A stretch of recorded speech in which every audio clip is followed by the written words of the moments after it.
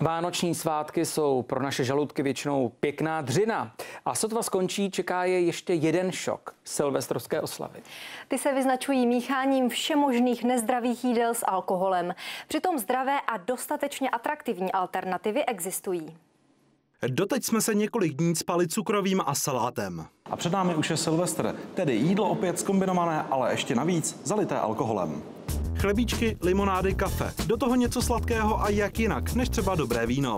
Určitě uh, hrozí pálení žáhy. Zdravý člověk to většinou zvládne, může se mu dělat špatně, může zvracet. Člověk, který má, ví, že má kameny ve žlučníku, smíchá větší množství jídla a to pak může opravdu přivodit velmi vážné komplikace, jako je zánět žlučových cest. Například takový chlebíček se dá udělat sexy, chutně a přitom nám žaludek ještě poděkuje. Na místo bílé veky e, použijeme kváskové pečivo, na místo nějaké majonézové těžké pomazánky použijeme pomazánku ze zakysané smetany a s křenem, který nám hned odlehčí trávení, napomůže játrům, pozbudí je vlastně a, a bude nám hned lépe. Nic na tom není. Nastrouháme křen, přidáme zakysanou smetanu, lehce přisolíme a je hotovo. Nic víc vlastně ani nepotřebujete.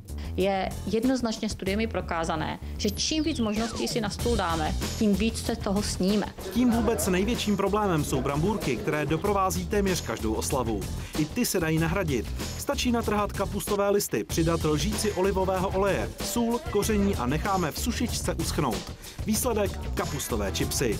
A když to s jídlem přeženeme, existuje jeden vyprošťovák. Takový lék je, jsou u mé boši, švestičky. Stačí si dát eh, malá lžička tady této pasty a v podstatě do pár minut se budeme cítit lépe. Konec roku se dá rozhodně završit jinak, než v nemocnici se žlučníkovým záchvatem. Pro televizi Brandov Martin Haváček.